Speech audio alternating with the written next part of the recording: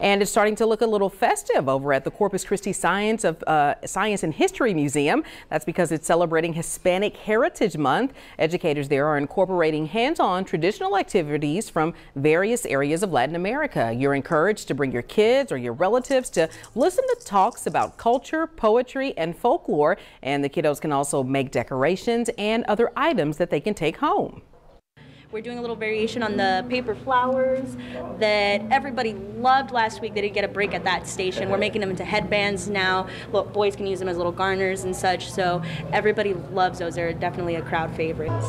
And there's also a special $2 admission promotion that'll be honored for those who say that they either saw the ad on social media or the feature here on television.